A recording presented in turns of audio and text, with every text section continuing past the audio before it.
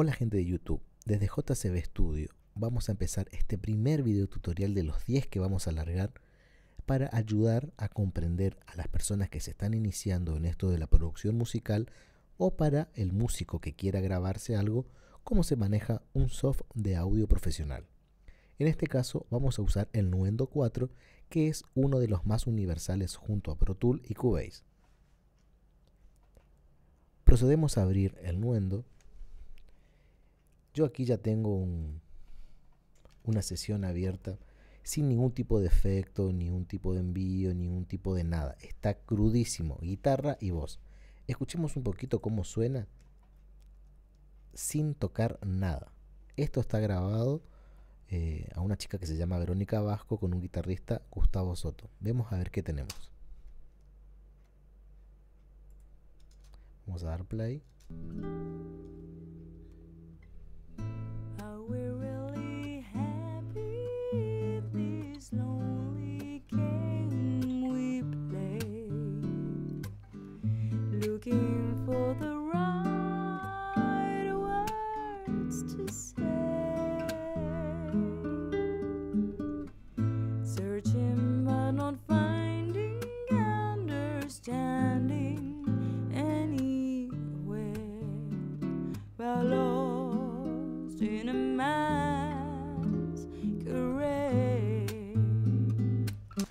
Ahí más o menos tenemos la idea.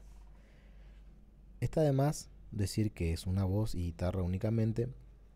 Esta es la pista de la voz. Escuchemos un poco, está todo por separado. Una voz muy dulce, por cierto. Eh, bueno, ¿cómo, ¿cómo arrancaríamos una premezcla en un proyecto que ya tengamos eh, prácticamente todo grabado? Yo en lo, en lo, particular empezaría con la voz. ¿Por qué con la voz? Porque la voz es el centro, es el, como el alma del tema, diríamos. Es a lo que todos prestan más atención. Entonces vemos cómo, cómo suena la voz natural.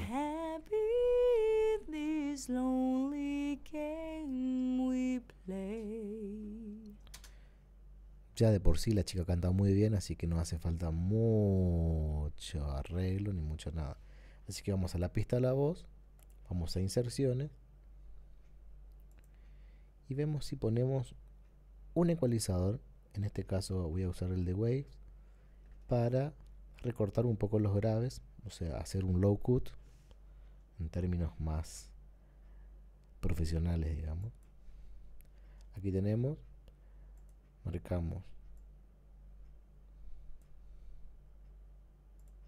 un corte grave en 100 Hz aproximadamente. A ver cómo suena ahora.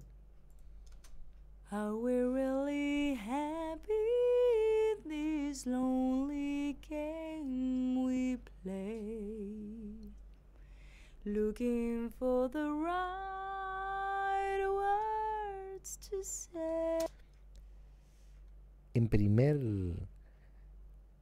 a primera oída parece que no cambió nada, pero en realidad cambió bastante porque estos estas frecuencias molestas que teníamos que son inferiores a los 100 Hz, el oído humano casi no los percibe, o sea que eh, pero en la suma de todas las pistas podría llegar a ocasionar un problema más adelante. Y más si tenemos batería, en este caso no, pero si tenemos batería, eh, qué sé yo, amplificadores tomados con micrófonos a las violas eh, y percusión y demás. Así que lo recomendable siempre es hacer un low cut, un corte de grave. Y después escuchamos. No siempre en el ecualizador es eh, como primera medida subir. A veces con menos podemos obtener más. A ver, escuchemos.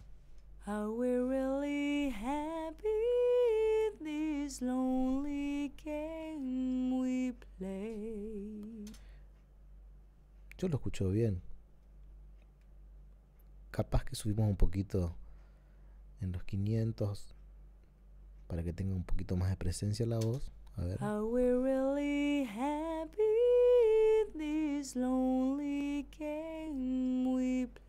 Creo que ahí está un poquito mejor. A ver, escuchemos con el bypass. How we're really happy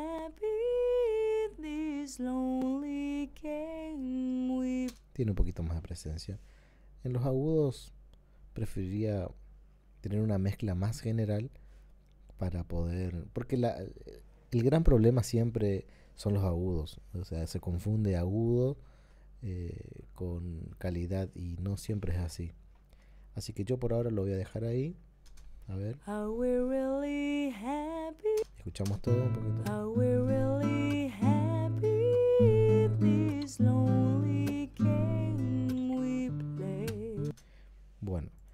Yo quiero que la voz esté más al frente, o no sé si más al frente en realidad.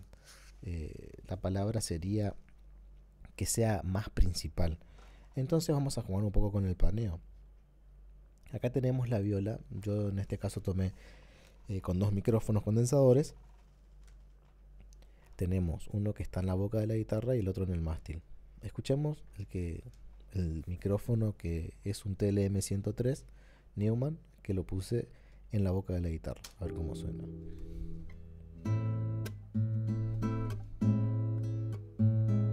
Y ahora el del mástil que es con una KG. Es más para los agudos y podemos subir un poquito más. A ver los dos juntos.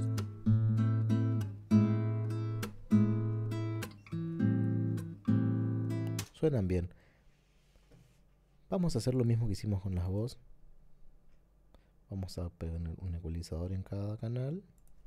Hacemos un low cut, corte de graves a partir de los 100 grados, de los 100 Hz, perdón.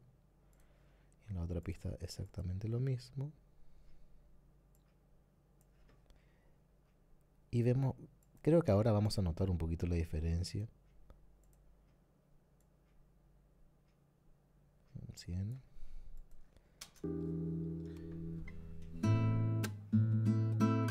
Y se nota ya un poco la diferencia en, en los graves. A ver.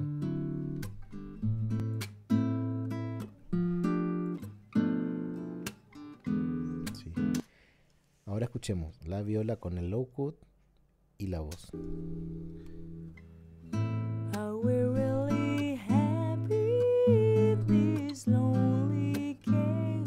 Parece que la voz está un poquito baja, pero este es un pequeño tip para... Porque a veces tampoco no es volumen, sino en el plano eh, de paneo también se puede ayudar muchísimo en la mezcla. ¿Qué quiere decir esto? Al tener dos violas, por ejemplo, o sea, una viola con dos micrófonos, puedo panear un poco la, la de la boca, por ejemplo, la del micrófono en la boca, voy a ponerla a 64. Y la del mástil en R64. A ver, escuchamos las violas solas y vamos a ver cómo suena estéreo.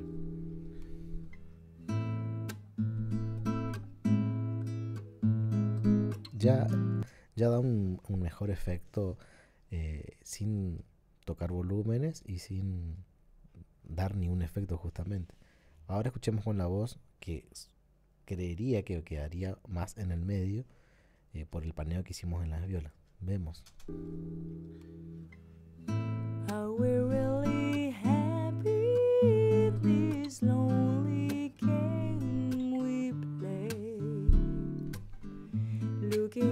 Mucho mejor. ¿eh?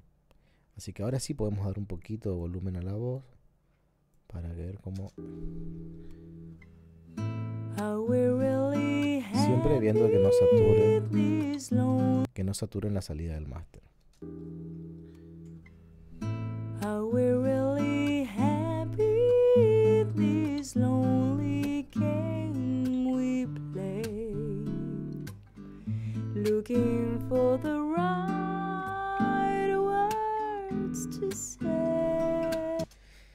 Bueno, hasta ahora no tocamos nada de ecualización, salvo el corte de graves, el low cut que hicimos a las tres pistas que estamos escuchando ahora, a la voz y a los dos micrófonos que pusimos en la viola.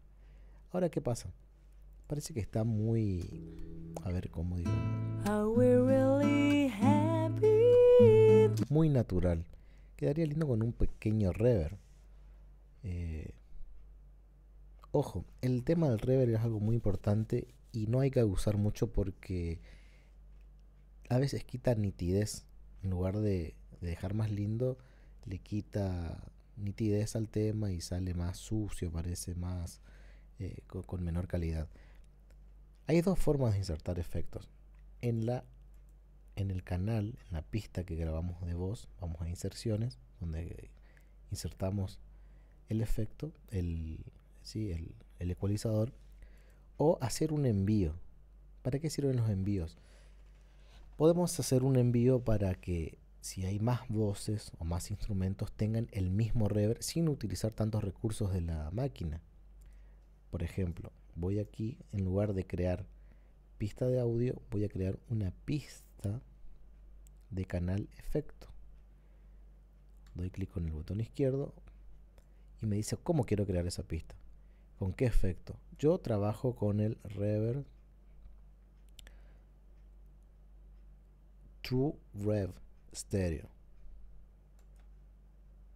Es el más cómodo para mí, el más fácil. Y bueno, está en estéreo. Le damos a aceptar y aquí tenemos. Esta es la configuración que yo ocupo. Ustedes pueden tener cualquier efecto, cualquier río, cualquier delay. Este es el que yo ocupo. Bueno, escuchamos la música y vemos que no va a haber ni un cambio.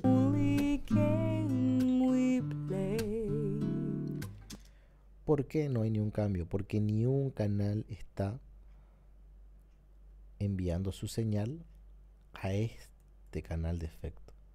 Por eso se llama envío. Entonces, ¿dónde tenemos que ir? Vamos, por ejemplo, queremos agregarle reverb a la voz. Vamos a la pista de voz Vamos a la izquierda donde dice inserciones, no, envíos. Y ahí elegimos la pista, elegimos la pista que creamos recién, que es esta. ¿Se acuerdan? Damos, prendemos y lo dejamos en cero como primer medio. A ver, escuchamos cómo suena la voz ahora. Ahí ya escuchamos con, con el reverb que y acá modificamos este reverb y se va a modificar todo.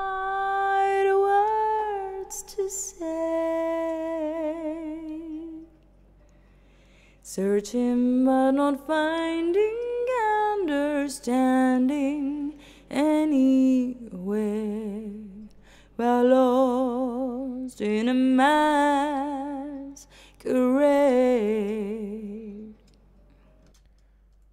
Más o menos ahí está.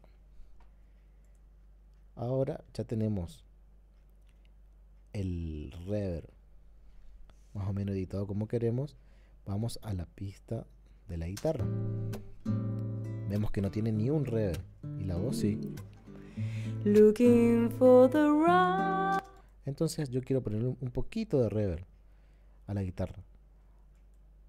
Vamos a inserciones. No le quiero poner en inserciones porque hice la pista de envío. Vamos a envíos, buscamos nuevamente la pista que habíamos creado de reverb, prendemos, lo ponemos en cero y escuchamos la guitarra a ver si tiene el envío. Ya escuchamos la guitarra con el reverb. Y ahora escuchamos todo a ver cómo queda. Looking for the right words to say.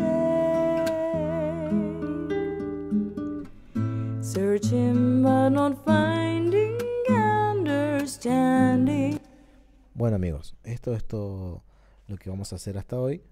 Así que en el próximo tutorial vamos a ver cómo comprimir las voces, comprimir eh, los instrumentos y dar un poco de, de realzar la calidad de audio de, de nuestros proyectos. Hasta la próxima y cualquier duda que tenga dejen sus comentarios, suscríbanse, que yo los voy a estar contestando. Hasta luego.